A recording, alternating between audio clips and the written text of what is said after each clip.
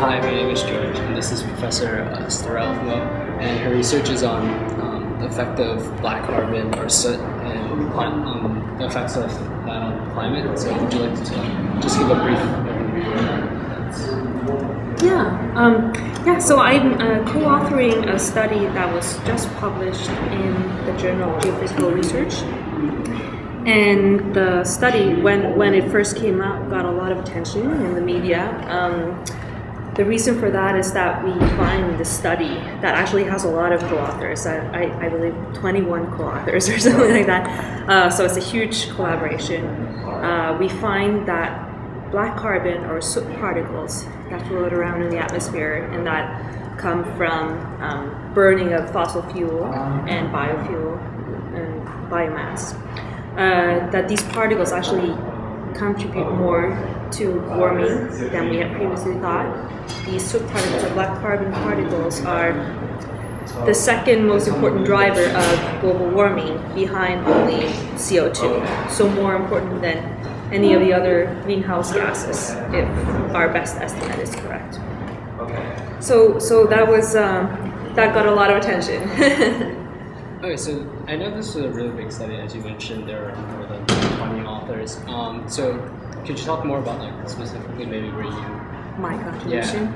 Yeah. yeah. So my contribution is perhaps not the most exciting uh, part of the contribution, but uh, or, or, of the study, but um, my specialty is how different types of particles in the atmosphere affect clouds. And mostly my work uh, has been in, in numerical simulations of this. So we then we actually don't go out and observe uh, how particles affect clouds in nature, but we try to simulate it in, in climate models.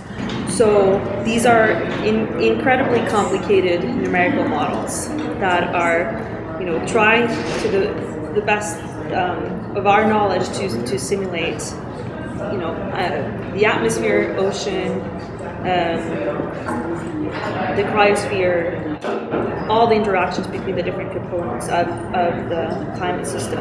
What black carbon particles do is that they absorb sunlight in the atmosphere. And, and so that's the direct effect that they have on climate. But then when they absorb sunlight, they also tend to warm the layers of the atmosphere where they where they, these particles reside. And that could in fact have effects on the cloudiness. So it could, for example, heat up a layer of the atmosphere so much that it evaporates all the clouds. I do think that people have uh, become aware of the fact that CO2 is not the sole driver of climate change, that there are other factors that also contribute. And, and that these other factors may be easier for us as society to do something about than, than CO2 um, emissions.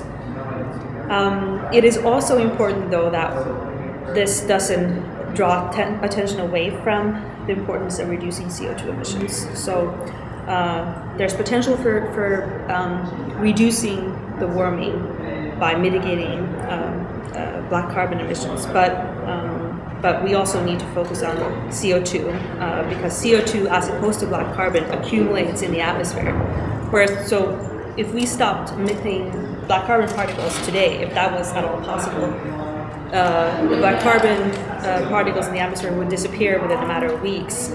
That is not the case with CO2. With CO2, even if we could stop emissions today, we would have high levels of CO2 in the atmosphere for hundreds of years.